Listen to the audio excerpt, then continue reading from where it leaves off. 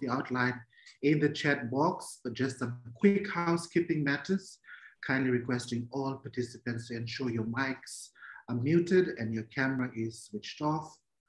Uh, after this record, this recording is rather currently streaming live on Dawn's YouTube and Facebook social media pages.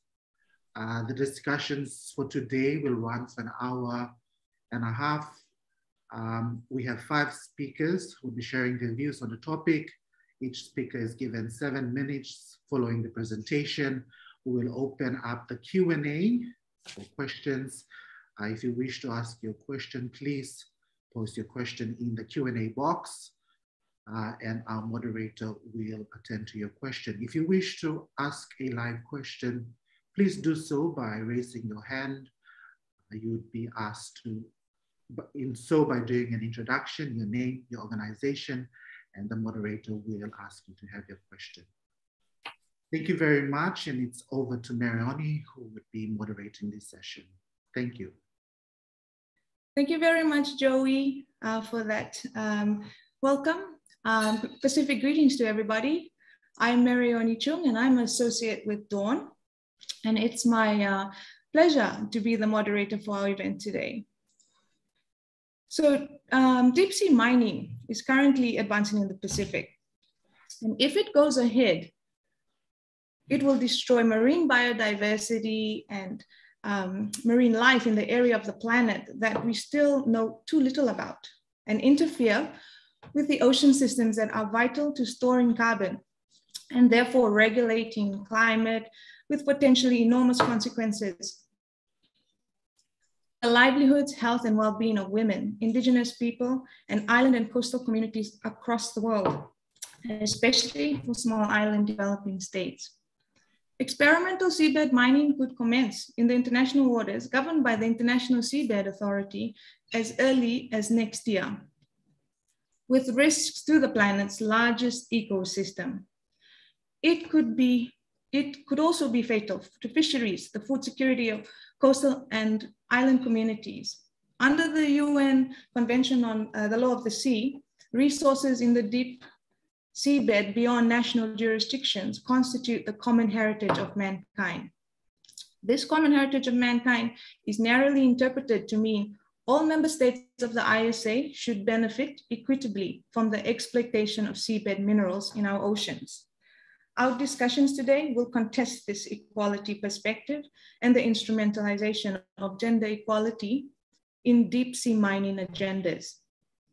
The International Seabed Authority and industry players have been highlighting how they are creating opportunities for women marine scientists in deep sea mining. The ISA in their 2021 report claimed to be contributing to the SDG Goal 5 on gender equality.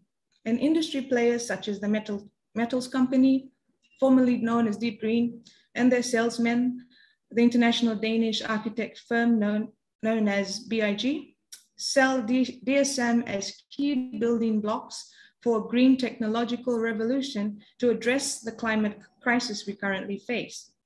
The ISA has issued 31 exploration contracts to corporations sponsored by ISA member states and is pushing to conclude negotiations on mining on a mining code to enable mining to commence as early as next year. Before, as our speakers are presenting, on various issues to consider. I would invite the participants to consider, to ponder on these questions. Who really stands to gain from the exploitation of our ocean or our, on the exploitation of our ocean minerals? Unchecked, weakly regulated corporate power poses serious threats to women, women's human rights. How does DSM impact women's access to common property, healthy natural environments, public resources, and provisioning when mining privatizes, destroys, alienates, and further industrializes our oceans? And what about women's access to basic goods, social services, and healthy oceans with the supposed gender equality benefits of deep sea mining? It's against this backdrop that Dawn and Pang and many others share serious concerns for deep sea mining. Its irreversible harm to biodiversity with little to zero likelihood of recovery, the and the unseemly haste with which Pacific states and recently formed mining companies, who appear to be venture capitalists fundraising for expected huge returns on experimental mining, are pushing ahead for deep sea mining in the Pacific Ocean with the evident support of the ISA. Without further delay, I, I will now introduce our first speaker for today, um, Mariama Williams.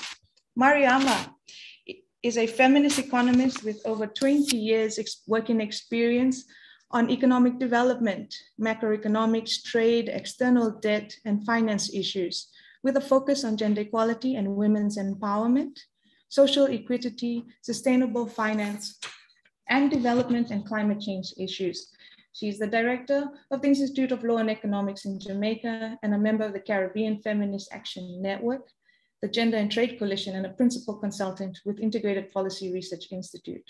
Mariama is the author of a number of publications and is currently a senior associate with the Political Ecology and Sustainability Program of Dawn.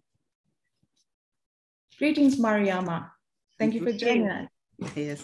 Greetings, everyone. Greetings. Good morning, good evening, good night to everyone. This is a global panel, and I know people are up late, some are up early. For me, it's just about twilight hours, so I'm in good stead. Um, though it's about an hour from my bedtime, my normal bedtime. I'm an early morning riser. So um, thank you so much. This is a, an amazing panel. First, I must put a disclaimer that I'm not in any way an expert on the topic.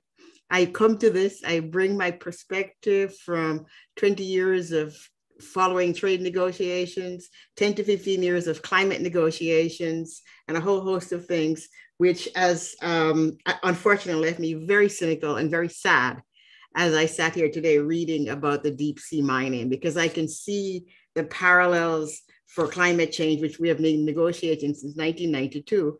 And despite supposedly a global um, support for it, we haven't been able to solve that issue, and it's getting worse and worse every day. So I don't have, I don't come with a very optimistic heart about the deep sea mining when I realize the extent, the extent of the money that has been put into the technology of it. And I just read a recent paper that came out financed by the Metals Company, a Yale University study that's like halfway here, halfway there. It may do this, but it will be great, but it may do this, it kind of hedging. And then at the end of the study, I saw it was financed by the, the mineral company. I said, okay, now I understand.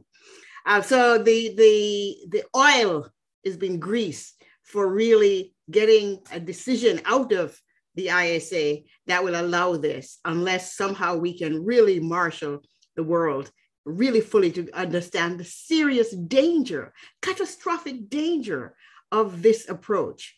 And it really saddens me to think that many of our developing countries who have been fighting in climate change and talking about development versus survival and accusing other countries of choosing development versus their survival are the ones leading the charge for deep sea mining, which has such catastrophic impact, not just for the region, but for climate change right? As I read and I studied and I looked at it. So I have three or four things to say. One is that the ocean, our ocean, it's not this narrative of this vast remote ocean out there um, with you know non-human life that we don't need to be concerned about, but has all these resources that will be would lead us to Greenland, uh, to Greendom.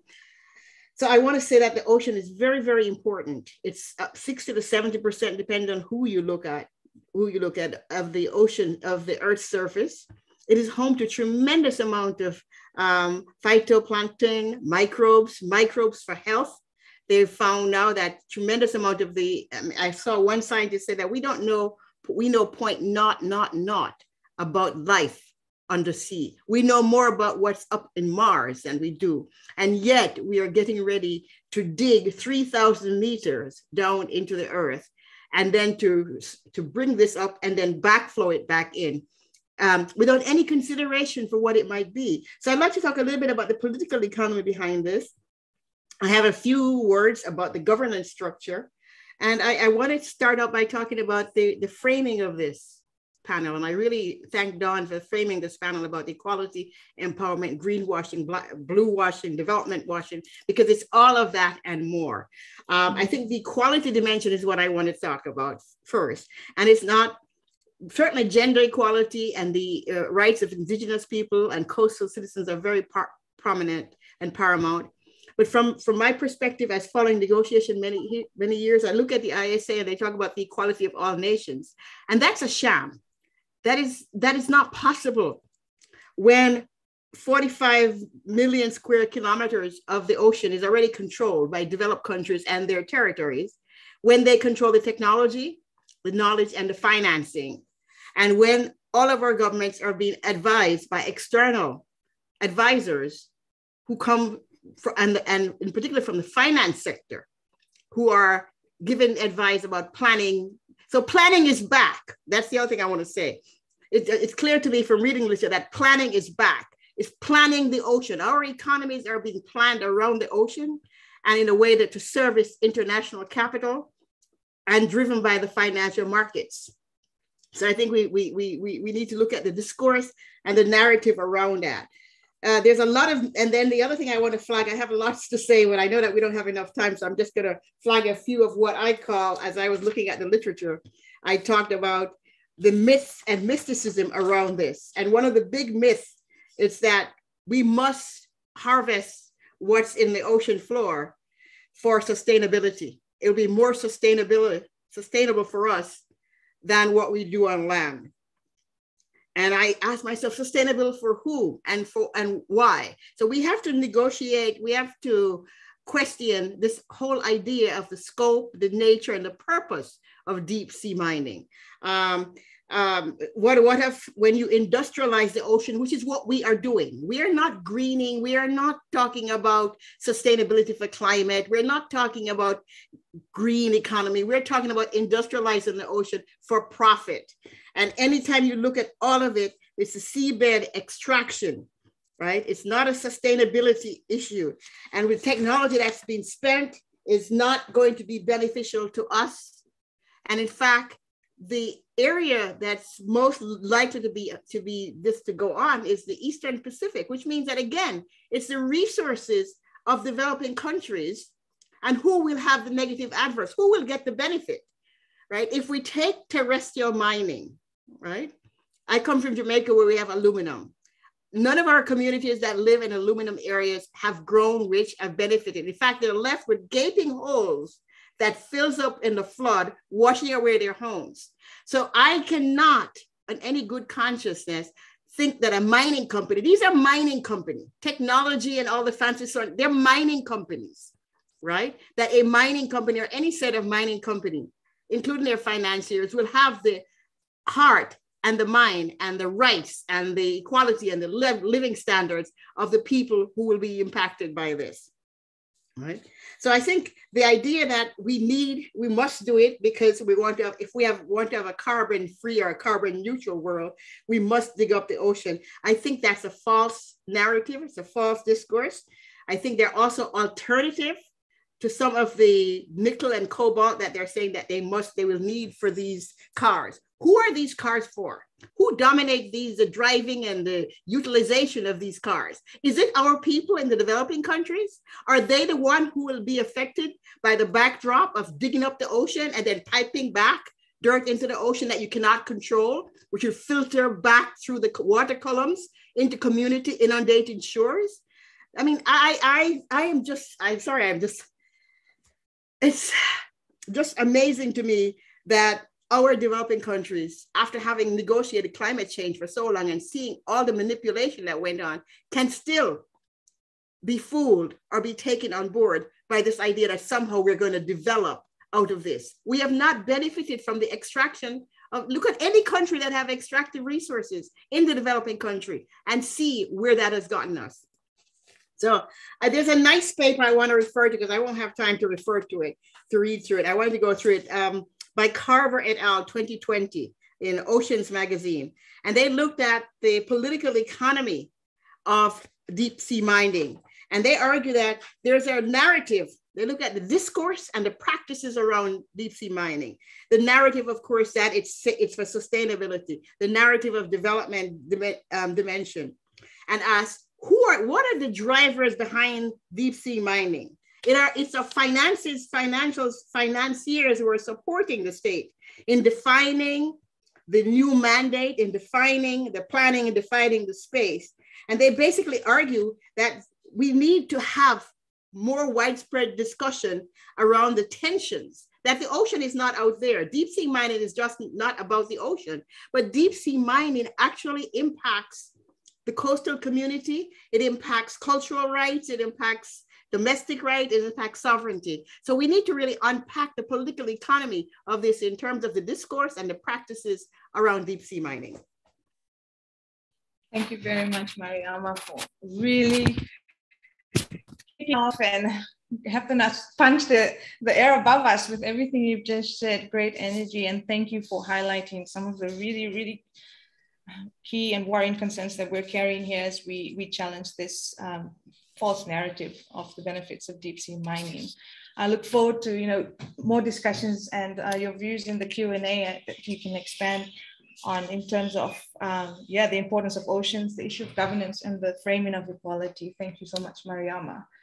Um, I take this opportunity now to introduce our second speaker, um, the Honorable Debbie Ngarewa-Packer. Um, Honorable Debbie is a member of the Parliament of Aotearoa, New Zealand, and a co-leader of the Maori Party, and uh, Kiara Taki of Ngati Ruanui. My apologies, Honorable Debbie, if I'm pronouncing this incorrectly.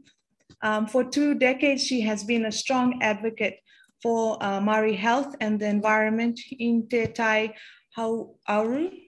She is a committed kaitiaki fighting to protect the environment, specifically leading the campaign to stop seabed mining off Te Tai Hauāuru coast, confronting many adversaries and personal sacrifices. The Honorable Debbie has fought against iron sand mining off the Taranaki coast and mobilized hundreds of Taranaki people in 2004 to join the foreshore and seabed protest.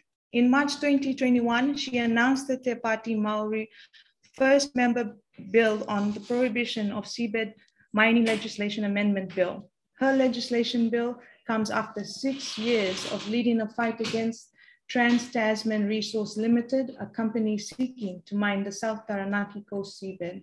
Kia ora, Honourable Debbie, and welcome. Kia ora, uh, tuatai ngā mihi kia koutou koe tai mai, and um, my um, greetings and aroha to everyone that's here. I think like the last speaker, good morning, good evening, good afternoon. And um, I am conscious, sorry, that not long after this, I have to be um, in the House uh, in Parliament sitting in about 20 minutes. So my apologies if I'm not here through the whole um, webcam. And so I'm going to get um, stuck into it. I guess um, from our perspective, and I totally took all the kōrero and the passion of uh, Maureen of the Wahine, oh, not of, um, beg your pardon, of uh, Miriama before me, is that um, this is nothing other than environmental vandalism. This is there's no other way to describe what seabed mining is um, proposing to do. And I think if we can all come from the perspective that uh, as an Indigenous persons, we have indeed a um, an obligation, a DNA responsibility to protect for future generations. And if we were to talk about what drives us as wahine, uh, it is not uh, legacy, fame, ego, profits. It's actually real simple simple things as a wahine, which is to ensure that my mokopuna grandchildren um, get to have a planet that's intact for them to be able to be well, to be well culturally, to be well environmentally. And uh, we have a whakaaro, which I'm sure a lot of other Indigenous whānau do, which is, you know, most of our body is made up of, of water. Uh, the semen that um, that goes to the wahine is, is fluid when we're carried in our mother's womb, it's fluid. Uh, so our connection to Tangaroa, to the ocean, to everything around the ocean is inherent in our whakapapa. So when we rock our babies and there's a rhythm that we have in our puku, in our stomach when we're carrying, that is the rhythm that comes from Tangaroa and the sea. So to disconnect and to desecrate our environment, specifically around our ocean and our our uh, our, our seabed mining, our, our seabed, sorry, is to actually desecrate our ability as wahine to be able to nurture our future generations. So it is real, um, it's intrinsic in us culturally uh, to fight to stop the vandalism and the desecration of anything that's connected to us um, through years of, of who we are as Indigenous peoples. The other thing is in Aotearoa, we have a tiriti, which I don't know um, if everyone else can relate to that, but basically it grants us our rights as the tangata whenua of the Indigenous peoples of Aotearoa to protect our rights and interests, to protect our ability to be kaitiaki. So um, we've had real failings in our country to be able to do that. And as a consequence, um, you know, we've been to three, four courts now that have found that the government agencies that are meant to protect our environment have failed, not once. Um, again, like I said, the High Court, the Supreme Court, um, the Court of Appeal, um, and the other order have all ruled in favour for us that uh, the those who are responsible to protect our seabed um, haven't. As a consequence, as wahine, um, we were put into three or four, I guess, activities. So the first for us to do intrinsically to protect our cultural being and our ability to breathe and to um, breed and to be able to live um, is our activism. So, and it's not by chance. I was, as I was preparing for this speech, it's really interesting. Our lawyer, our frontline activists, our um, political, and indeed a lot of our culture were all led by wahine. Now, that wasn't necessarily planned, but um, you know, go figure that we're the ones that will turn up, you know, uh, and again, uh, you know, again, in support with our Tāne, but when I look at it, I was sort of having a bit of a giggle to myself, by no means of predetermining, but every part of our um, fight against this was driven by wahine and the values that we have. The ultimate goal is that we have to preserve this for our future generations. There was no other agenda. So I don't want to make it look like that we were rocket scientists or that we were strategically clever um, with a whole lot of um, research and academia. We weren't. We were driven by pure, um, you know, the the the drum, the beat of the drum within our soul, and um, that continues to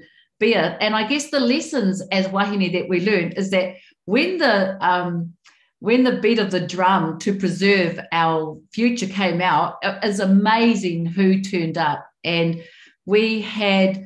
Uh, and so there was uh, probably there were thousands in total but from those who were planning, those who were engaged in preparing legal cases, those who were engaged in lobbying, um, politicians, which by the way failed us, which is why you now see me in politics. Um, that they um, were driven by we were had we were let me take a step back. We had a whole lot of volunteers. We were fed by volunteers. We mobilized um, as volunteers. We had our um, iwi, our tribal people that backed us as much as they could, but effectively, the mobilization and the energy that went into this was very much um, voluntary. And I think it was that passion that absolutely made sure there's no way we are going to give this up or we're going to lose. Because you know, the social license that these these seabed miners, who by the way were all men, that come out and make promises to, you know, we will help and and if I give a bit of context, I come from a region that is quite um, economically struggles. Uh, we've had high redundancies. We were driven by a lot of freezing works and factories. And so um, we're a lot uh, lower in our capacity and ability to earn than other regions. So when someone turns up and says, I can give you more jobs, I promise there'll be jobs for the cleaners, there'll be jobs for the cooks, there'll be jobs for the motels and so there was a real um, rise to that call. And we had to really spend a lot of time to dig down and sort of say, well, they're not going to give 1,400 jobs. They're not going to give you know 700 jobs. In fact, they're not going to give 100 jobs. They're specialized positions, which none of us has. They're going to fly talent in. They're going to use facilities in the big cities. They are not going to bring um, the promises of gold and prosperity that they were. But you spend a lot of time counteracting that argument because when you're a desperate community, you know, you've really got to justify why you're um, turning away perhaps the only opportunity that your area is going to have for a long time. So there was a lot of that, uh, and and I guess the biggest part that I would sort of say about um, how we had to talk to each other was actually to make sure that the conversations and the debates and the um, misinformation was counteracted, and we spent as much time talking to ourselves about that. Because the last thing you need when you're up against these big kahunas is division. And that's the first thing they attempt to do. They went in and they romanced our local government. They had support from our central government, all the business communities, you know, who have louder voices and bigger pockets to market that message. Um, were on it. They were all at it. And it was only as we started winning cases in court that they started to think, oh, oh, you know, maybe those Māoris have got something. Maybe that radical woman's got a little bit of sense to what she's saying. But it took a long time for the groupthink of um, those that thrive off capitalism to actually drop off. In the end, we had, for example, our local mayor, who is really against us and really supportive of it, totally against it. In the end, we had politicians um, in opposition who were really for it who started to see the facts and were and went against it and supported us. But it really took a lot of stamina to get to that stage. And so I want to um, acknowledge all those grassroots fighters because, like I said, that was really the activity that we had to do, which was the passion of the divers that knew the state of um, our reefs when these big companies were saying, oh, the barren, there's nothing there. And we're like, oh, yeah, no, no, you're so wrong. And they'd go out and put cameras in the ocean and they were getting all the, um, and I guess that was the other thing is that we were working with people we probably haven't worked with for a long time.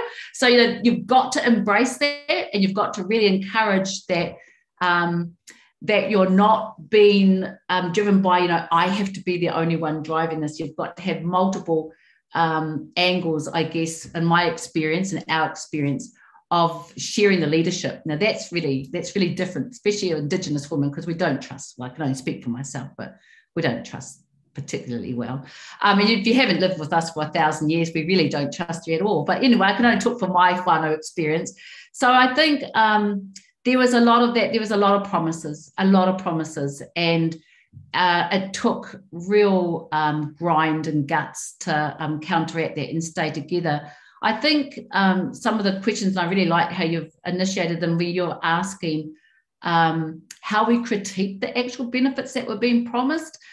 Uh, there was a, a, couple of ways. Again, I think because we had a collective tribal um, entity, we were able to you know, use some of their experts to assess some of the um, economic benefits. But the reality is, there, you know, when you look at the size and the scale, and they were looking to, um, I think it was a 60 square kilometre space, looking to do 50 million tonnes um, extraction. When you look at the size of the equipment and you look at, uh, you know, you're not just going to be able to dive in and be a swimmer. You have you actually have to be extremely skilled and qualified. So we just kept um, busting them for the alternative facts. And we got sponsored by different ones who would help with our um, newspaper campaigns, our social media campaigns. And every time we got new info, we just had a network.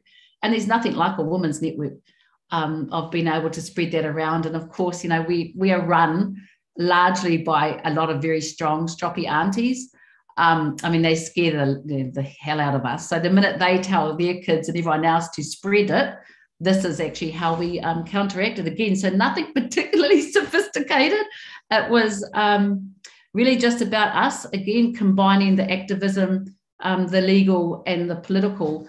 It got to a point in the last court case when we thought, well, this is it, yay, and then they took us um, back to court again. And by that stage, we decided that because none of our large parties in government were going to bat for us, even though there'd been promises made before they got elected. Um, we decided that we needed to push um, stronger in the political space and once and for all get this stopped through legislation. So, part of my being in there, other than addressing equality and equity, was being able to use that platform to um, put my first members bill together, which is to prohibit this activity once and for all. Um, we've had support from the Greens Party. Um, the National Party, I don't, which is one of ours, we don't expect they're going to um, jump on board. They're a very profit focused party. Um, and Labour so far have been quiet. So, uh, and we also ran a petition with that. And I guess one other thing I sort of will drop on, um, hoping that I've hit what you wanted to hear today. And if I haven't, that's okay. You can question, email me anytime. But the other thing that we did from our experience was we had multiple allies, multiple allies, including yourselves. So we reached out to our sisterhood, our brotherhood, our um, Indigenous hood, our other environmentalists, um, and we were able to work with Greenpeace on some of the petition activity. And um, yeah, that's that's where it sits. Is that I think one of the things that if I was to ever share is that we never give up. Um, behind me, I have two daughters and then a granddaughter. Um, ahead of me, I have these aunties with hundreds of nieces, and we just will not give up on needing anyone um, desecrate or deliberately vandalize our environment while you know expecting us to sit back and watch. So if it means that I'm uncomfortably in places in Parliament, which I probably never expected to be, and um, you know have to be doing different things, then that's the degree of commitment that we have to stop this. And um, our mihi and our aroha to all of you that are experiencing the same battle. Koira.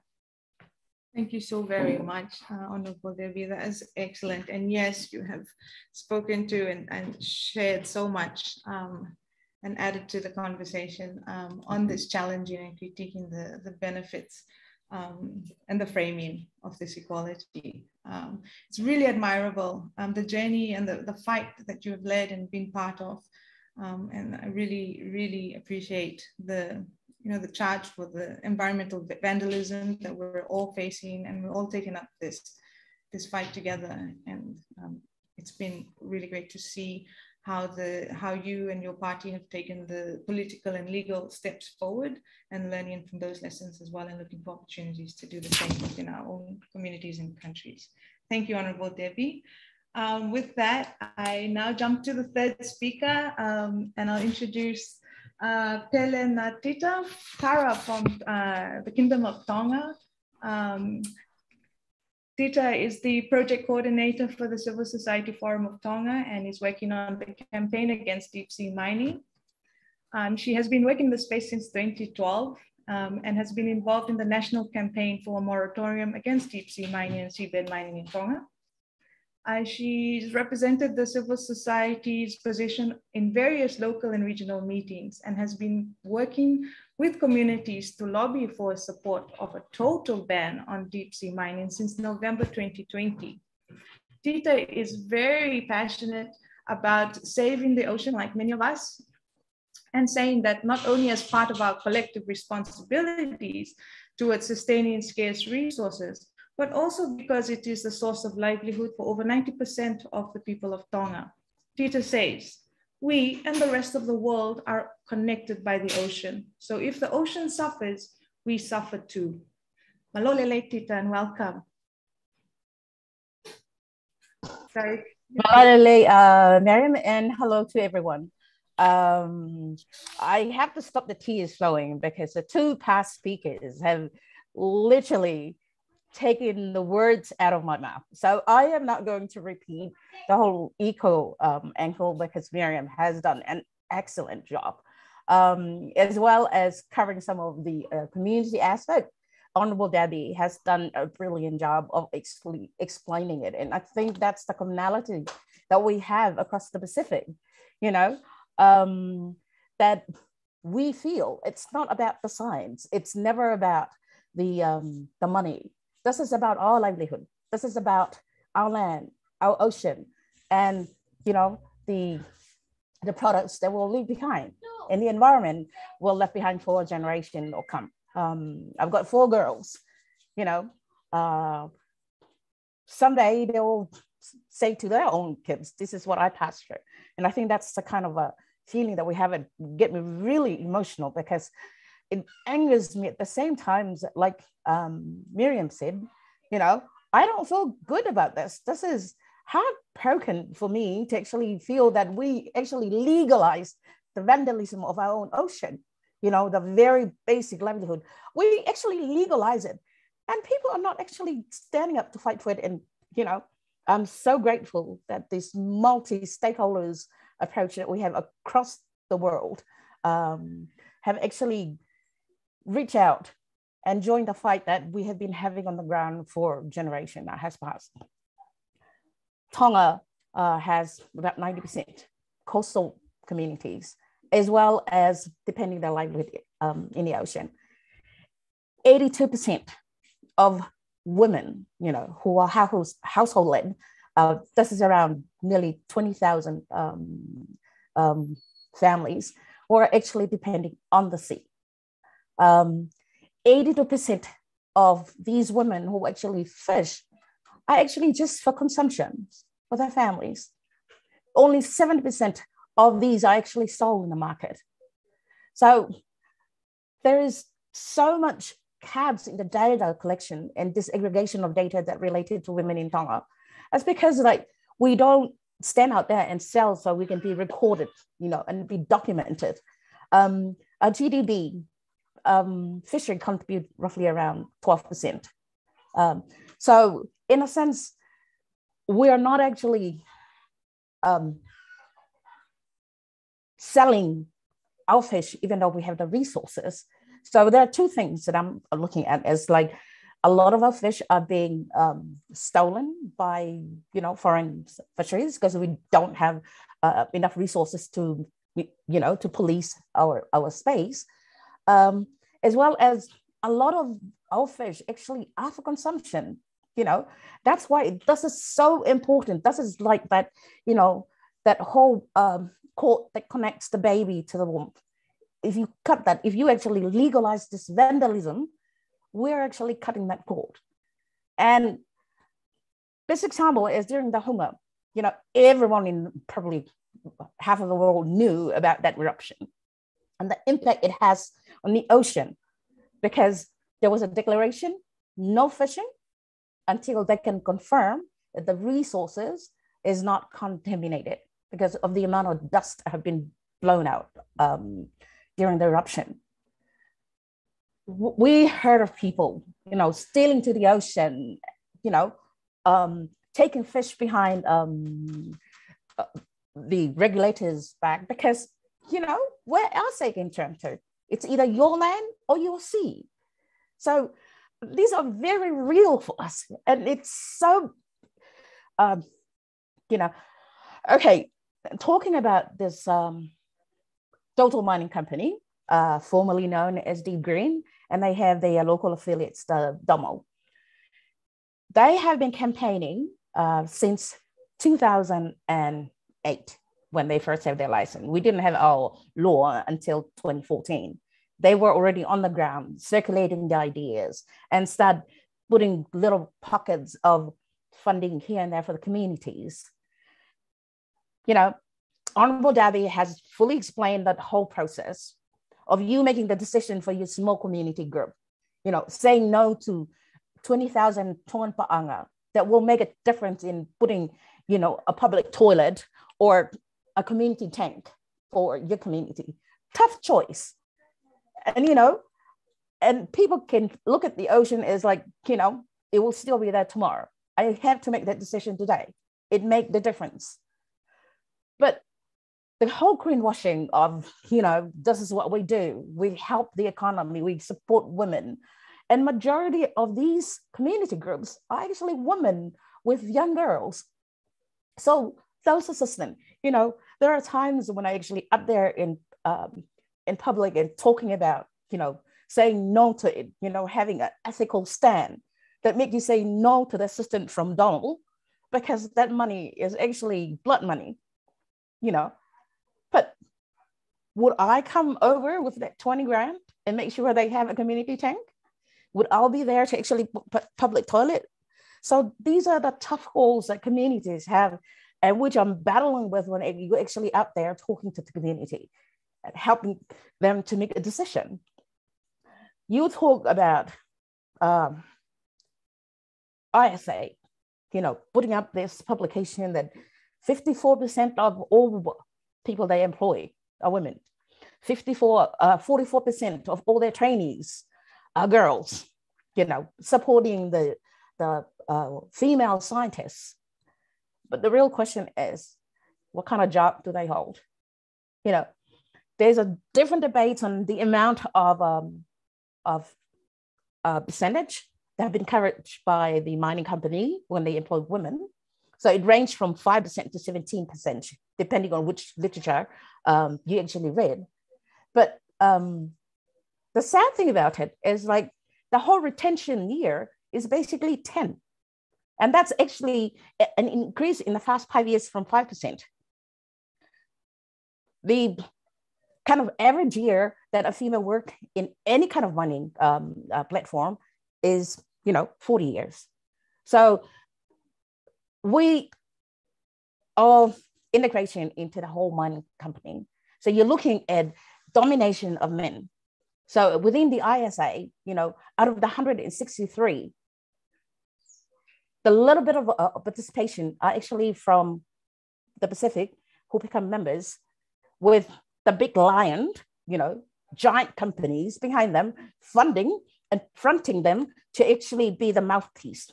A perfect example is now triggering the two years um, um, rules. You know, you're put at a hard place, you know, between the rock and the stone. What is your choice when it does make a difference? And, you know, our king opened the parliament this year and supporting the utilization of our minerals um, for economic benefit. So um, my own interpretation is, is that a royal approval for deep sea mining to proceed? So again, it's back to this is our only livelihood. But, you know, Mariama has mentioned about whose benefit are we striving so hard to actually promote?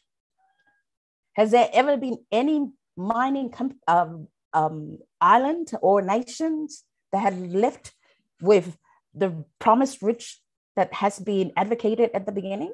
No. At the beginning, they thought that Tonga might end up having hosting a plant where you have hundreds of jobs. Common sense wise, Tonga is too small. That kind of a plant they expected to build need a mightier and bigger land that we have. You know, right next to uh, the sea, with what, five meters? Highest point is six to seven um, feet above the ground. So you're going to build a plant there? but people would want it to hear what they wanted to hear. And, you know, these profiteers are so smart. They have crafted um, the narrative um, beautifying this industry to be the saving grace for humankind. I don't think so. Right?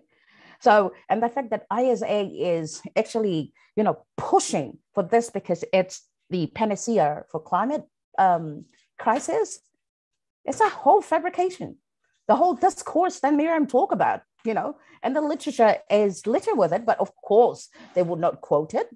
They will just retain on what they think um, will benefit their um, propaganda. Right? So um, the common um, concern in Tonga is like, how can the government do this? You know, how can we survive if this happens? You know, the Hunga example is one perfect example going for fish nearly two months before they actually say that it's okay to start consuming. And that's just one, you know, eruption. You're looking at, you know, multiple machineries, how many tons out there, you know, generating bloom that will basically suffocate our uh, ecosystem. So, yes, um, that's something I don't think we should legalize. And I thank everyone for helping me do my job and help stop this gigantic um, monster, uh, total mining company from proceeding next year. Thank you. Thank you very much, uh, Tita, for sharing um, what it's like on the ground there in Tonga.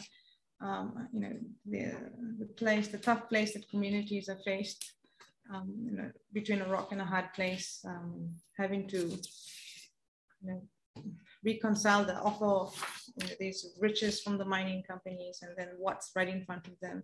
There's real risks to the environment. Um, 90% of the community is coastal. Um, and yes, just that example and demonstration that you shared about the eru eruption and, you know, that, you know, even though the, no, this is not fish until it's safe to fish, um, but the reality is coastal communities, that's their source of food. So they're every day there. Um, imagine, just imagining when the mining companies come in, you know, what, what does that mean for the food source and the livelihoods and the realities of Pacific Islanders? Thank you, Tita. And we look forward to um, more exchanges and more views um, in the question and answer time, um, especially on um, you know, the ISA um, and your, your charge um, their framing um, and their pushing within the region. Thank you. With that, um, I'll go to the uh, fourth speaker um, and introduce Uta, our fourth speaker. Um, Uta is uh, from Berlin and is a political scientist working on integrated ocean governance with a focus on the institutional dimensions, environment and rights of marginalized groups, um, and a just transformation towards a peaceful human relationship uh, with the ocean. She studied feminist theory and practice and international environmental regimes and did research on the role of locally controlled and governance systems in promoting or hindering collective action in favor of the conservation and sustainable use of uh, coral reef resources. In response to the ocean climate biodiversity emergency currently before us, Uta has been following UN processes uh, related to the SDG 14, UNFCCC, the ISA, BBNJ, and CBD in collaboration with feminist networks and other CSOs. Greetings, Uta. Good morning to you. Good morning, good evening, uh, good afternoon to everyone who's there you're following. It's very uh, hard to keep up with uh, so many uh, great women here in this panel. And um, yeah, I uh, try to uh, take you with me to the international level. And um, yeah, I started uh, from the report of the um, ISA released in 2021. Um, uh, titled The Contribution of the ISA to the Achievements of the 2030 Agenda for Sustainable uh, Development. And uh, its statement um, that uh, the ISA is contributing to uh, gender equality and empowerment of women. And um, the examples in this report um, are particularly enhancing women in marine scientific research, especially women from developing countries, and uh, also in uh, research um, companies. And um, so, uh, yeah, so, so this uh, might be the case that uh, the, the ISA is active, uh, actively contributing to, to enhancing the number of women in these um, research networks. But uh, from our point of view, I think it is important to ask uh, what are the objectives of these research? Um, what is the outcome? What are the underlying values? And um, does the outcome, does this research um, enhance our understanding um, um, of how to destroy the ocean with uh, seabed mining technologies, with destructive technologies, or um, does it enhance our understanding how to protect and sustainably use the ocean for uh, the benefit of present and future generations and for their right to a healthy planet and also for the right of marine um, biodiversity and marine life to exist and to maintain their vital circles. And uh, I think, uh, yeah, I must not answer this question. I think uh, the previous panelists have has made it clear that we, um, we know uh, what the answer is. So uh, from our point of view, from the, from the um, point of view from the, uh, I'm working with, we do not only focus on, on science and the enhancement uh, of uh, women and empowerment of women in science, and of course, uh, science that contributes to uh, sustainable outcomes and uh, to a just transformation of what's needed in regard to um, the ocean climate biodiversity emergency. And uh, but we also need to take into account uh, the knowledge of women, other non-scientific knowledge of women, um, including uh, traditional knowledge, and especially uh, taking into account the role of women and their knowledge in this regard. And uh, so here we are a lot of, uh, there's a lot of work ahead and uh, a lot of um, needs to be done to enhance the awareness and the understanding of the need of women and uh, their knowledge and the role of and their right to engage in as, as critical agents of change in these emergencies. So uh, next, I uh, would like to address the gender equality, um, empowerment and participation of women in ocean governance. And as my previous speaker um, already pointed to, uh, the ISA in this regard is not really um, very uh, uh much contributing to um, SDG 5 and uh, there's a lack of uh, women. We want, um, let's say, um, it's important that women not only um, can can enter more spaces in science and in research, but also in uh, ocean governance uh, spheres that is um, related from planning to decision making, implementation, and review, and um, at all levels, from local to global, and within each level at uh, all decision-making uh, spaces. And uh, so let's uh, not only share some, the knowledge, but also the power. Uh, let's change the imbalance of power in ocean governance. And um, in this regard, uh, yes, the ISA has a great deficit. It is not open, it is not transparent, and a lack of women voices in these uh, bodies and processes is, uh, um, yeah, is obvious. And uh, so, uh, yeah, this is an instrumentalization of, of um, emancipatory language we do not accept.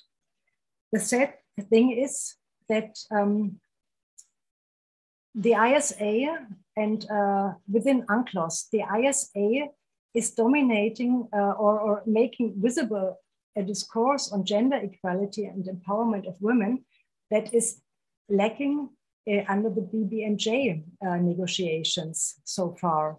And uh, so, on the one hand, an agency and uh, that is promoting a destructive technology and uh, some uh, with a disastrous impact on the marine environment, the, the marine biodiversity, is uh, carrying a discourse on uh, gender equality and women empowerment.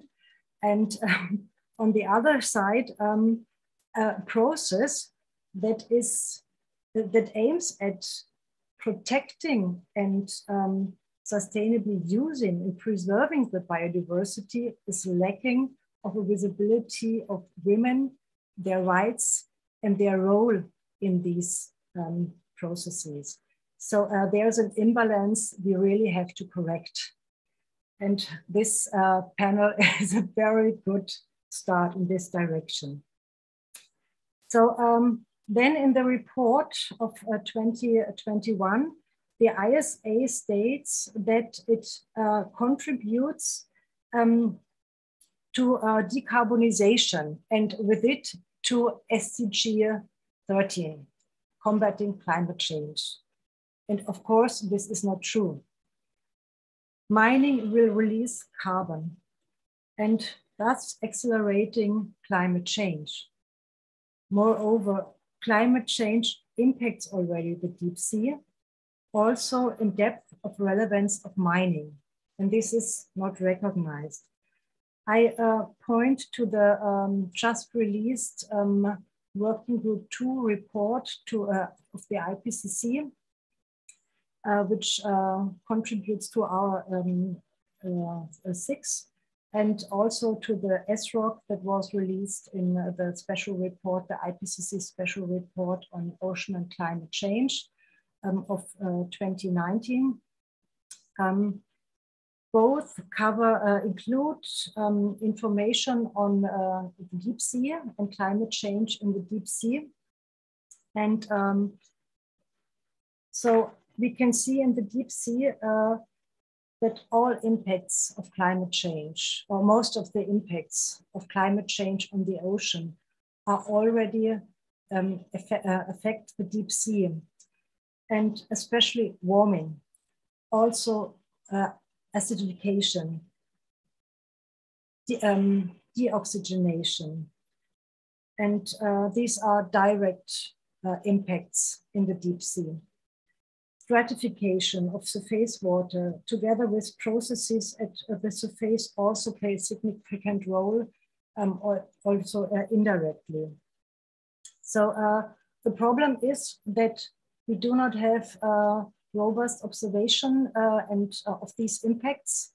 And uh, COVID-19 delayed a number of cruises and delayed information in this regard. And this is the research we need, the impacts on climate change. And I uh, refer to the um, new uh, report and pointing to uh, that at all warming um, in the deep ocean, all global warming levels will cause faster movements of temperature niches by uh, 2100 uh, than those that have driven extensive reorganization of marine biodiversity at the ocean surface over the last 50 years. And um, what is also, um, there, there I, I, it's, uh, I would like to highlight that uh, the special, uh, the summary of policymakers and the uh, technical report do not um, contain much information uh, directed to the deep sea, but um, this is more in, in chapter three to, uh, of the full report. Um, but however, um, uh, the findings of the uh, summary for policymakers applied to the deep sea as well. And what is to be taken into consideration is that um, the uh, risks um, in the deep sea are um, and and the um, because a warming acidification and will continue for decades. What, what's happening now will affect the deep sea uh, later for decades. It, it arrives there uh, much later. So, um, and the warming in the deep sea accelerates much, much more than the warming at the surface. And this has to be taken into account.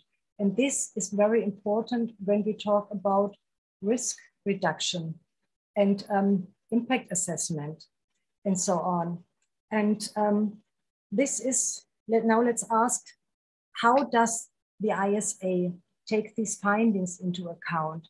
How is this considered in their impact assessment when they uh, decide on mining. And uh, here we have a great, great gap.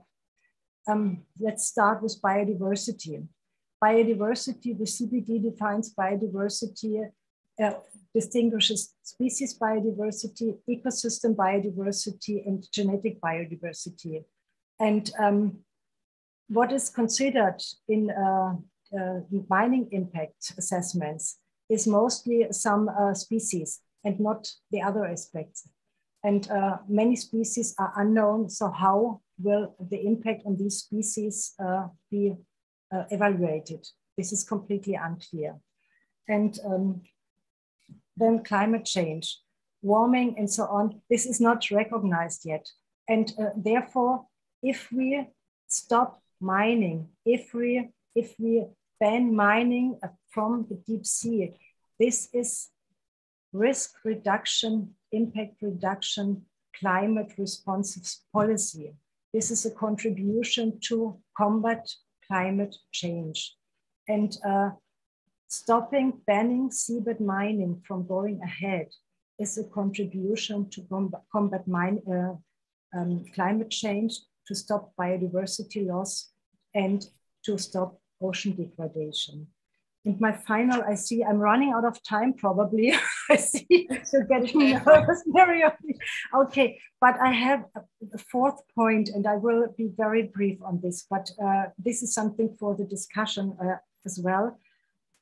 We are very few women at the international level fighting in, the, in so many spaces that are currently taking place at the same time. And we are very tired. And it is so important. Uh, first of all, I hope more will join. But however, I really value and appreciate the exchange with, with women and with networks uh, who are fighting this on the ground. And uh, this, um, the commitment is impressive.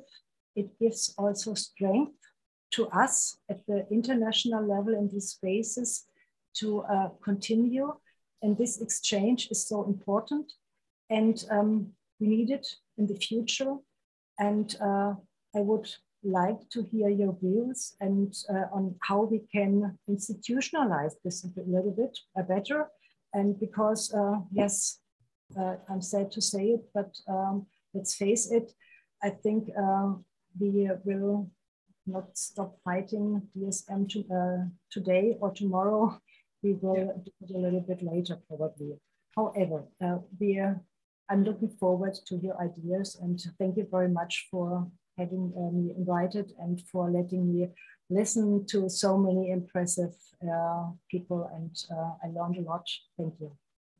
Thank you very much, Uta, for uh, your presentation, for highlighting also and speaking directly to the ocean climate nexus that is, uh, you know, that gets left out when we're um, the proponents for supporting uh, deep sea mining uh, seem to um, take a different take on uh, the benefits of DSM for climate change response. But um, you know, putting the biodiversity loss front and center there, and um, you know, as the impacts we've seen, it cannot be um, hidden. It's uh, an important point. Thank you very much for that, and highlighting also the contradictions within the current ISA's many uh, tracks of what they're promoting in the different ocean spaces at the international level and their priorities. And um, and also um, you know just speak to the solidarity of the women's movement grassroots all the way to the global spaces um, up there at the UN in uh, New York and Geneva. And, and definitely echo your your sentiments about continuing to stay connected and to support each other uh, as we are about to uh, go into our final present, our final speaker for the day, um, I'd just like to reiterate um, for those of you who are um, interested to ask questions to the panelists as we go into Q&A after the final speaker. Um, please post your questions in the box. We have a couple coming through in the chat box. If I can ask you to move your questions to the Q&A box that's there.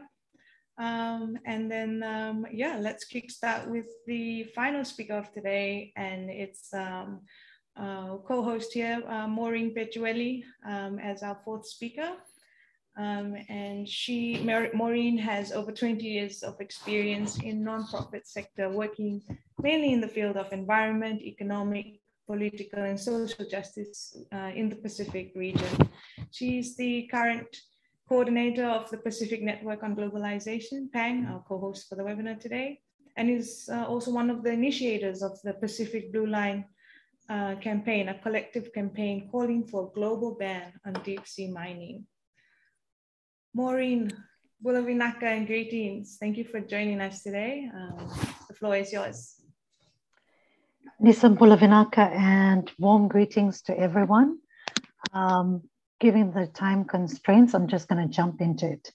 And as the last speaker, I'm just going to kind of emphasize where emphasis is needed. And I want to just really start with where Uta left off, really to understand ISA's uh, interpretation of what it means when it says it's advancing women's empowerment and leadership. Um, and it, it has this two, three flag, flagship projects um, to measure women's empowerment and leadership. And that first one has to do with uh, gender parity at the Secretariat itself. Um, so on gender parity at the ISA, which is located in Jamaica, it's achieved a 54% of staff who are women. Don't know what that means in terms of seniority of staff, but that's the, the kinds of uh, data sets that's coming from the ISA. On the uh, other two flagship projects, one is, I think Mar- Mariama touched on it, and Peter also touched on it. But it's really targeting LDCs, uh, least developed countries, landlocked countries, women in particular around scientific research. And I think Uta touched a bit on this. Uh, to date, um, 500 individuals from developing countries have benefited, including 44% of women. So that's, that's really less than 250 women in total in that flagship program that ISA is running. The final one is really looking at contractors training program. So there are currently 31 contracts um, in the high seas. And there's a pledge to reserve uh, half of their training opportunities for women wherever possible. So seven out of those 31. And that's the ISA's real claim and flagship around women's economic empowerment and leadership. So I want to then step back and look at some of the real structural barriers that we are facing, particularly from a Pacific context, in two ways. Um, we are at the forefront of deep sea mining because our, within our national jurisdiction, all of our countries, sovereign countries in the Pacific region, have tenements, have issued tenements. We have laws that have really signal that we are the frontier region of the world. Secondly, and in areas beyond national jurisdiction, five of our Pacific Island countries, Nauru, Tonga, Cook Islands, Kiribati, and just last year, Tuvalu, are all sponsoring states. And so here it becomes really complicated because we have to fight on two fronts.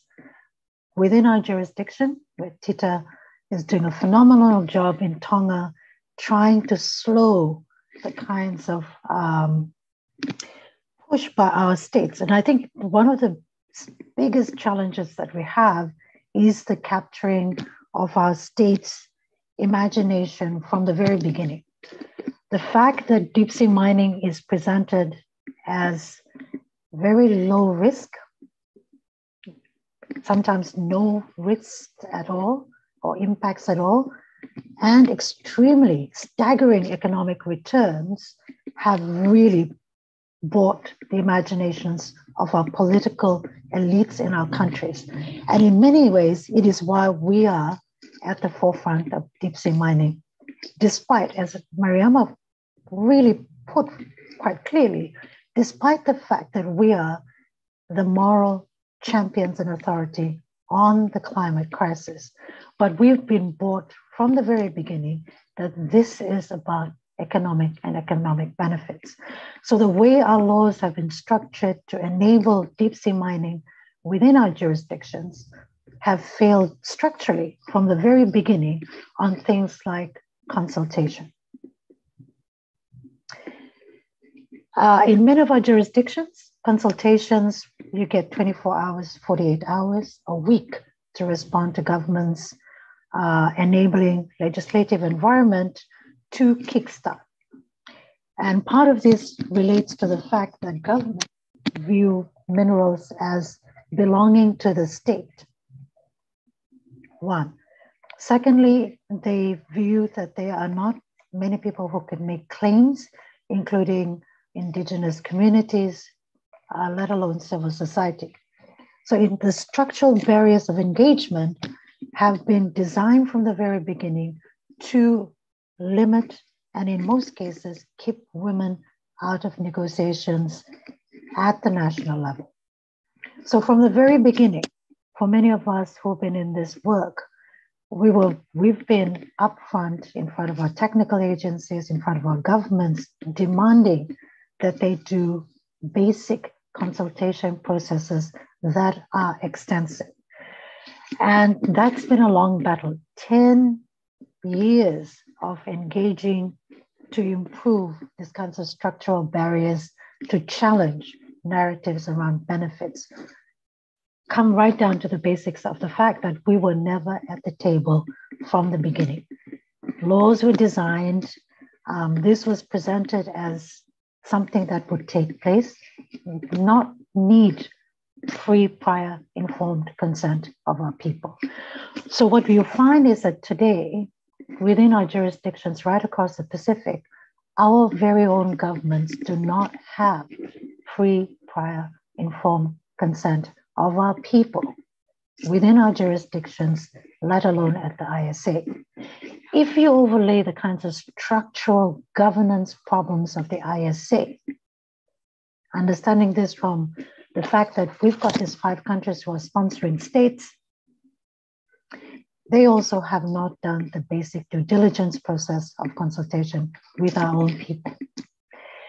So here we are um, it, at the global arena being the champions of this with very little understanding.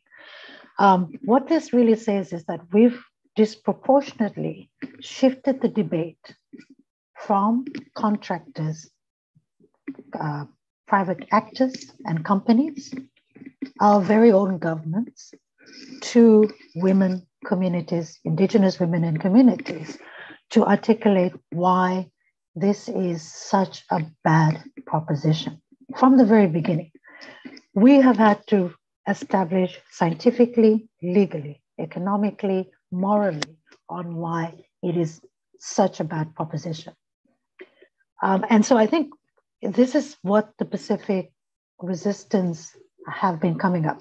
I want to really emphasize the basis of um, what Honorable Debbie Packer talks about why is it that we've drawn hard lines in the ocean? And this idea that there's a dichotomy that we are against development, against scientific research, that's the argument. When you're at the ISA or when you're meeting with contractors in our very own governments, they frame us as women who oppose science and scientific research, women who oppose development, and women who oppose um, alternative economic pathways for our governments. But we are very clear from the onset on why we've drawn this line, this blue line.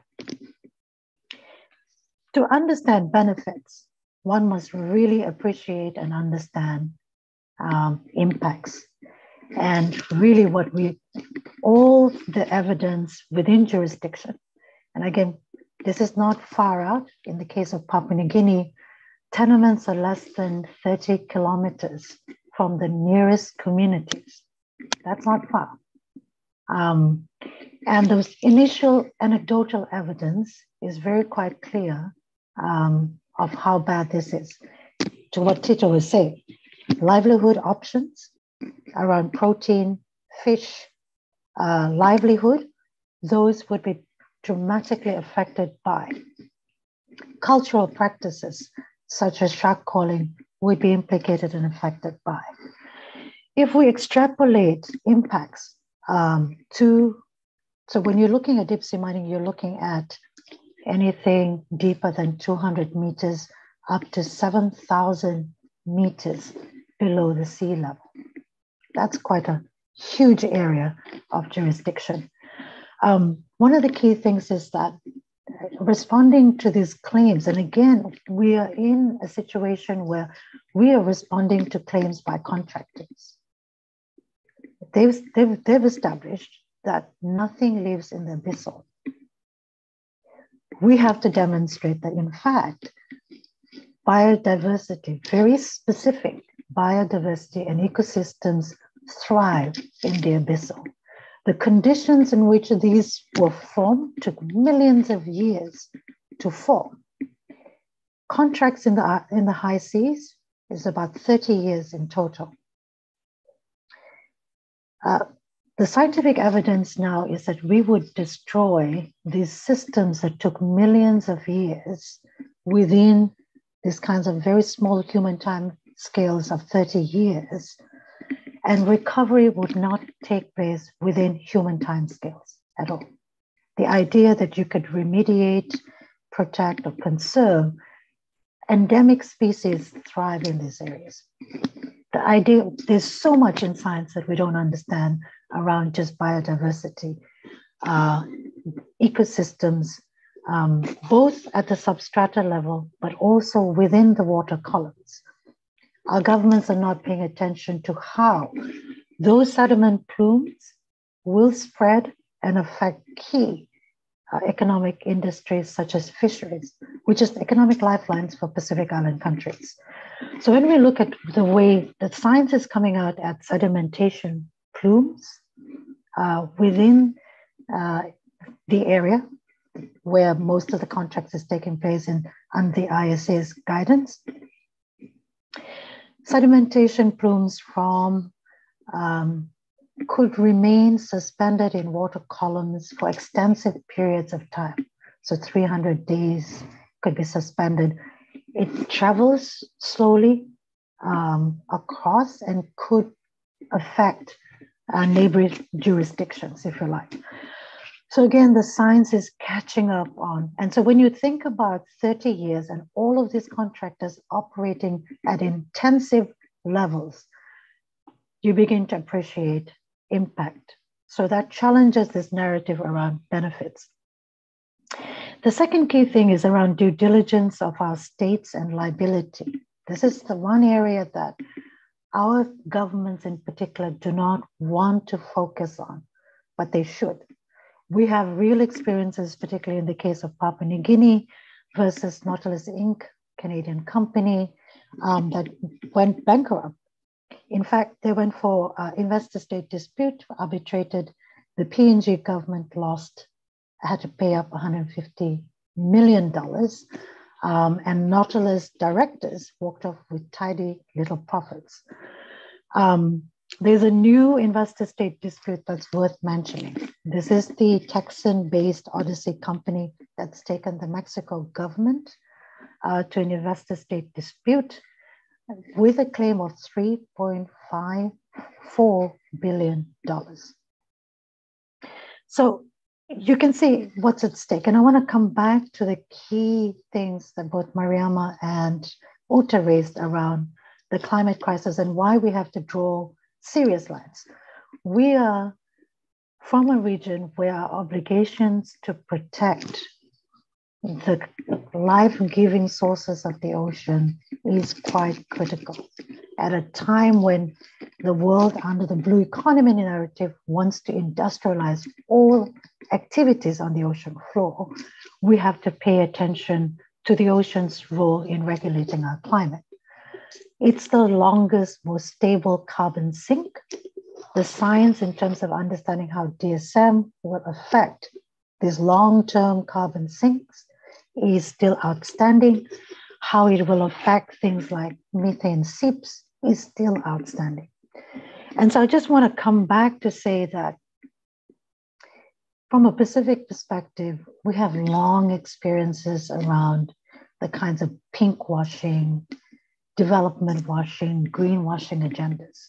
Because we've, and I think the global south, we have this experience to recognize when institutions, uh, transnational corporations frame, we recognize them because we've been here before.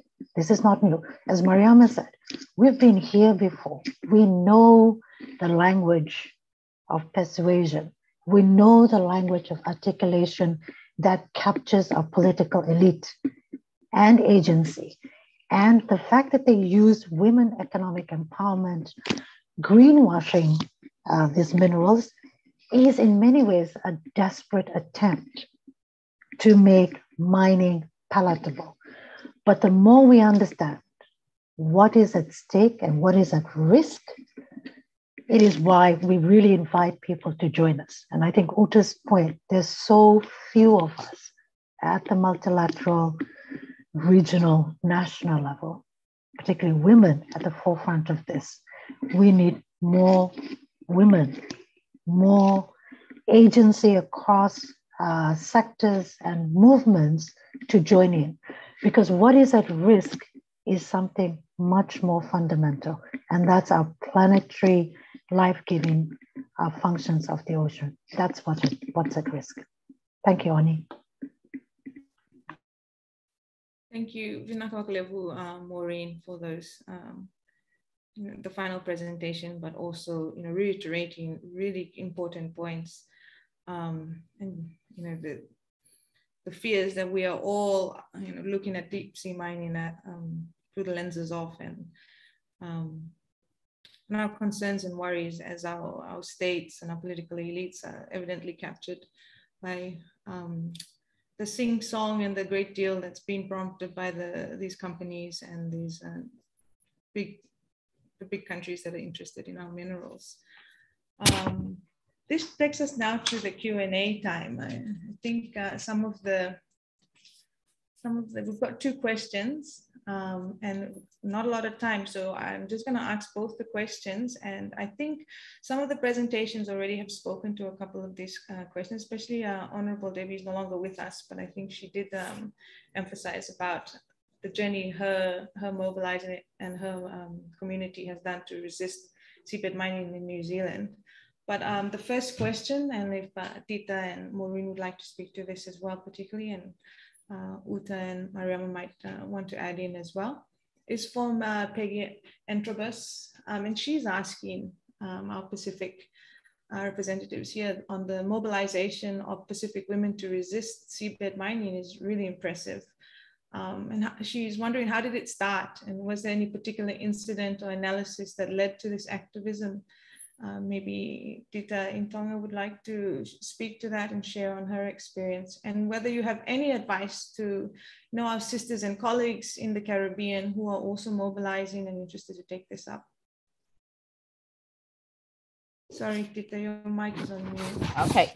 Uh, thank you again, uh, Mereoni. Um, I think um, this is basically by default that we happen to be more women in the space. But I think from personal experience, um, as indicated before, 82% of these women, you know, fish for survival, you know, for their families, um, for their livelihood. Um, kind of like, you know, a statement on its own. You know, we have more to lose. We are the mothers. You know, we care more um, for the livelihood of our family. We put food on the table, you know. Um, when they're hungry, you know, they run to the mothers. And, you know, it's that kind of inbred kind of like um, ethics we were raised with. So anything that we know is a source of livelihood, uh, we defend. Because at the end of the day, if you lose that, you know, ultimately we suffer. And the ocean is one of it. So how does um, evolve um, when I joined civil society, and Siale was um, the um, executive director, and quite passionate about this. There were really uh, only a handful of us, uh, but I think um, this might be supported by um, uh, one of the statement on the literature of the intergovernmental um, forum for metal minerals mining for sustainable development as well as uh, and Company, and also uh, Australia's uh, international uh, for mining and um, metallurgy. Um, that say that you know that they need gender integration into this industry. Women has been assessed to be more innovative, more um, flexible, and more visionaries uh, because of the wider experience, whether that is scientifically proven um, or not. The fact that these three very trustworthy sources have said otherwise, meaning that you know women are drawn into this because they are, you know, more visionary, more innovative, and they can see the whole holistic picture rather than the silos where they, you know, kind of box into just making money. So I think this is it. Uh, my advice is you know, um, as a mother, you know, the ocean and the environment is something worth defending um, for sustainability of this earth. Um, and, you know, there's already many of us there. So um, you speak your heart, people will follow. Thank you. Thank you, Tita.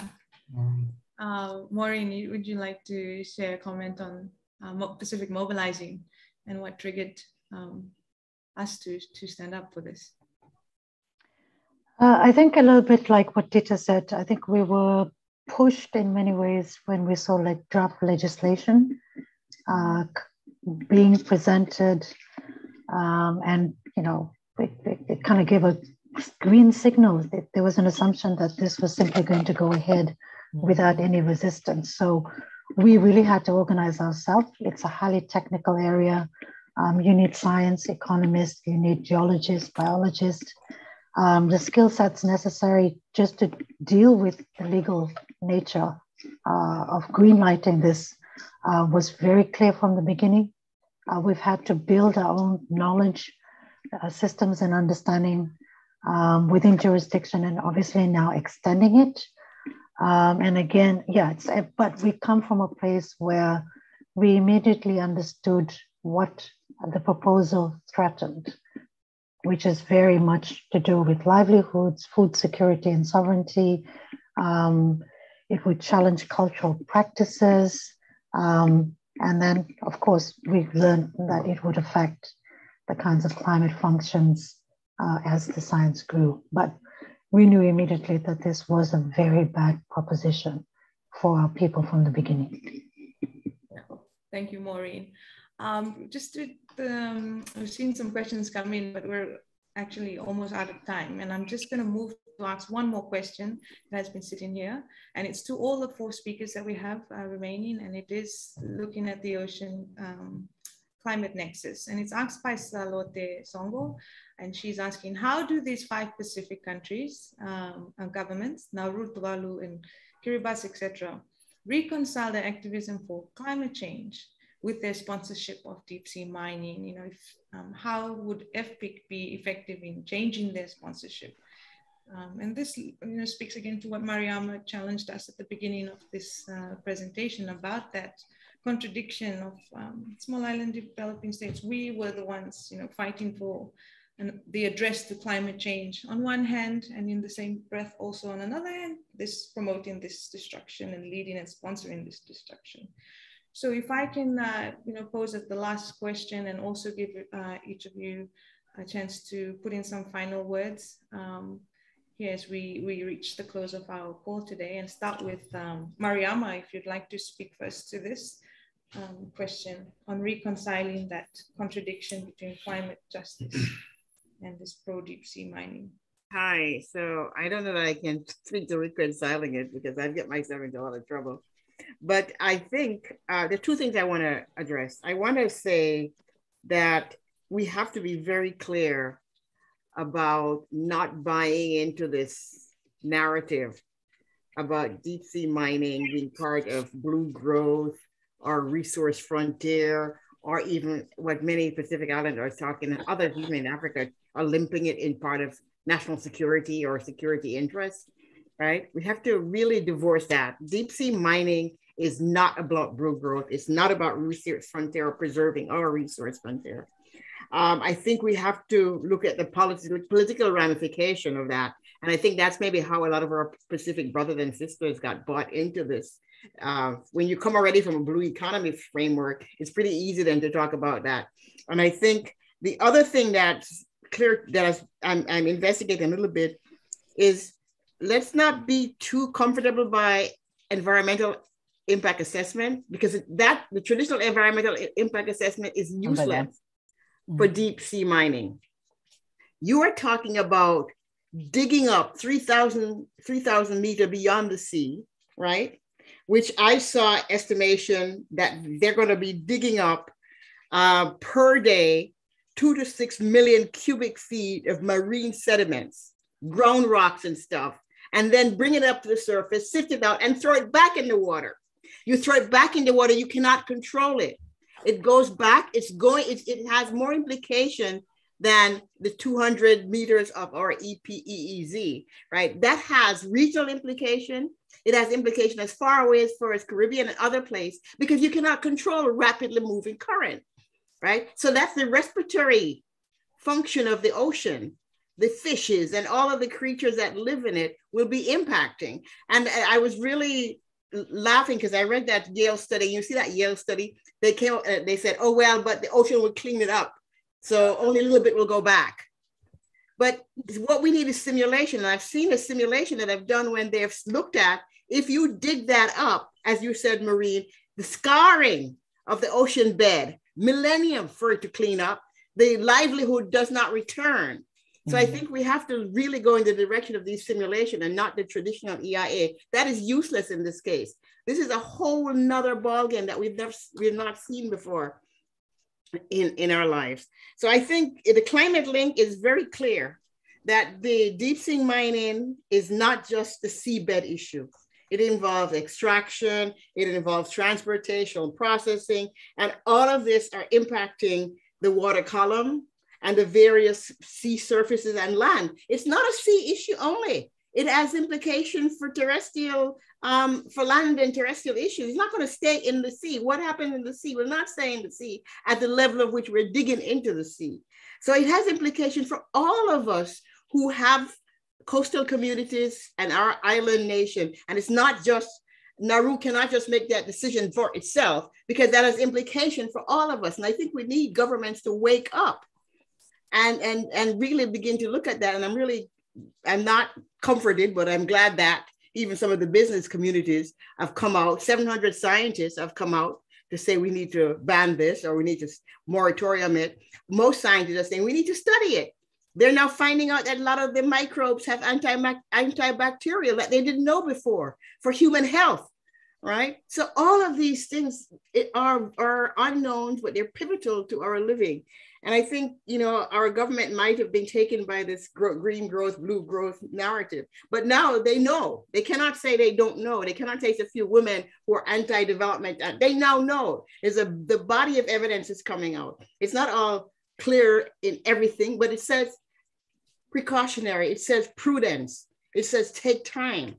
You know, I am not saying with that ISA will come up with a different set of rules because ISA itself is problematic. It has a moral problem.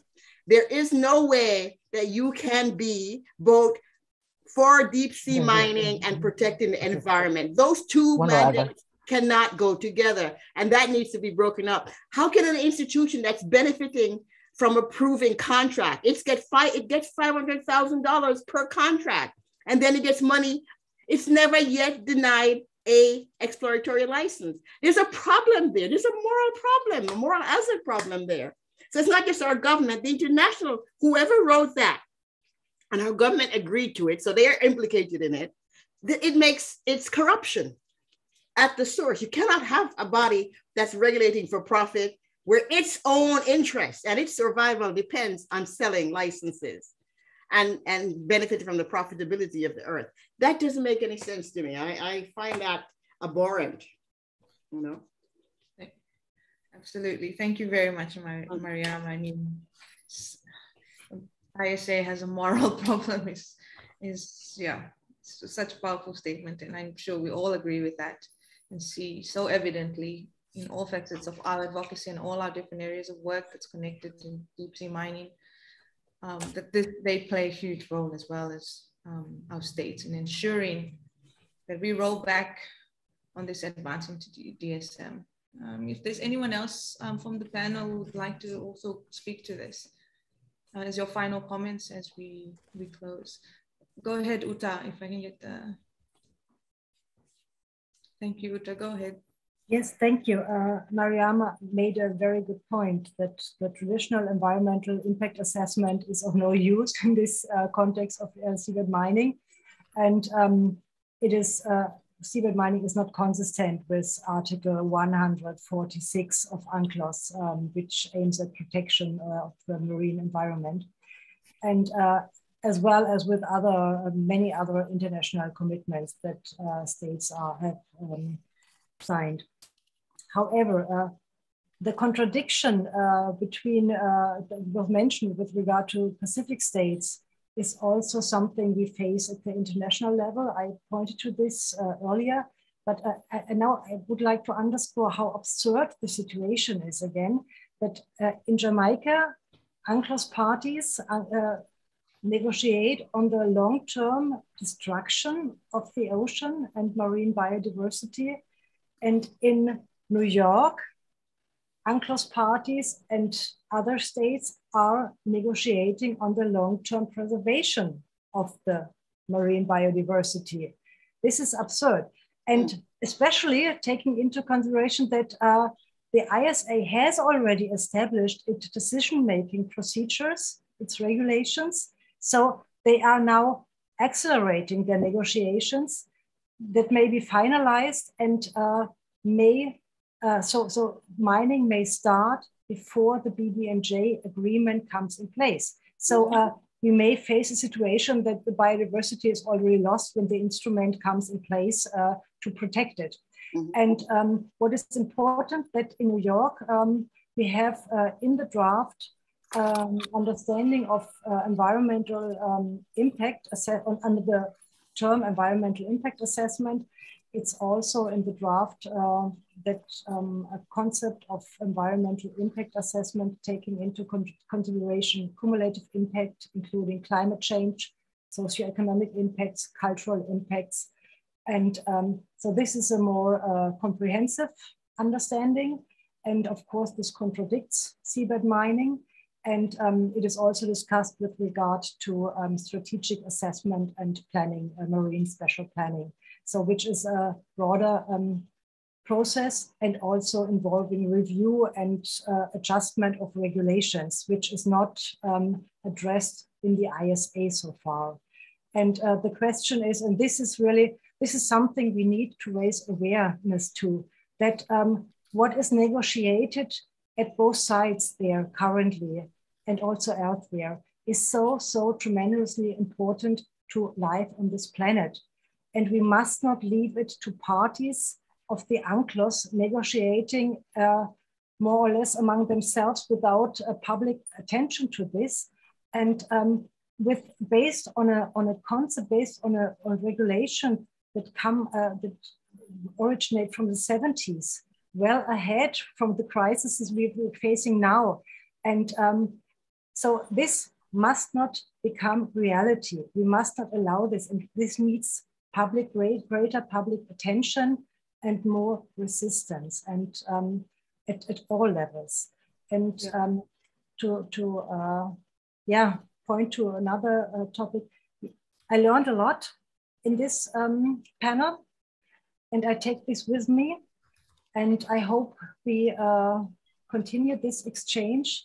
And I also want to point uh, to another region that is coming up that is uh, in, in uh, focus for mining. This is the northern mid-Atlantic ridge. And unfortunately there, or uh, yeah, uh, the situation is, is different. Um, there are no um, communities close by. And uh, I'm afraid that the attention, what is going there is much lower, even much lower in this area and uh, than it is in the Pacific. So it is so important what you are doing. you are a model for others, what comes ahead, what, what comes, uh, what, what may be um, coming in other regions. And uh, so therefore it is very important to learn from your lessons and uh, to continue the exchange. Thank you. Thank you very much, Uta. Um, over to our final speakers uh, for their final uh, wrap-up comments. Um, yeah, who would like to go? Tita, would you like to make a final comment here before we close up? Oh, sorry. I think, thank you. I think I would like to take the opportunity to thank you for the invite. Um, it's timely, and I think uh, the experience of having the Hunga and the COVID cases in Tonga kind of like distracted um, my attention for a while. But, um, you know, this really put me right back to where I need to be. Um, in defending the environment where we just saw the experience. Uh, the wealth of experience of change here today is tremendous. And thank you so much um, for having a voice from Germany and a voice from um, the African states. Um, it kind of bringing that flavor that despite wherever we are, you know, demonstrated we are in interconnected um, in this world by the ocean that we love to protect. Thank you. Thank you, Tita. Over to you, Maureen, to close us off. Thank you. Um, really, just to say, I think we all fully understand what is at stake now. And I think it's very clear that we need to join together. Um, as Puta, Uta points out, it's not over. And we still have some time to really stop this. So please sign the petition. Uh, we've posted it on uh, the chat in the chat box because we do have to signal very strongly um, to the UNGA that ISA's mandate doesn't go far enough in protecting um, the ocean and its life-giving services. So the fight is not over. Join us, sign the petition. Um, there's many of us working on this front. Uh, yes, so please do keep in touch with us. Um, this campaign will still go on, and we need every one of us taking a stake in the common heritage of all of us, on behalf of all of us. So join us. Thank you very Thank you. much. Thank and you. Thank you. Thank you to our speakers, our panelists today. I mean, yes, I reiterate what Tita said. This is just, you know, great speakers, great exchange, and it's really fired um, the fire in my belly to continue and to, you know, to, to continue these conversations, but most importantly, continue to fight and, um, you know, promote the banning of sea, deep sea mining. Um, to our to our participants who stayed on, uh, you know, beyond the time as well, fully engaged. Thank you also for your time and look forward to um, you know engaging in more of these conversations online and hopefully face to face soon.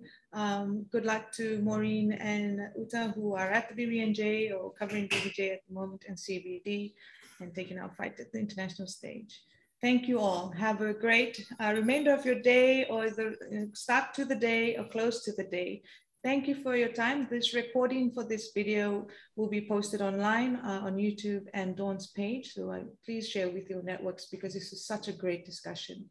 There's so many key points and we'll try and share it with the I, uh, guys at the ISA as well because as Uta said, it's quite absurd what's happening up there. So thank you very much and uh, rest well, everybody. Thank you very much. Thank you. Thank you, DAWN and uh, PANG. Naka. Thank you, Ute. Thank you so much for your work.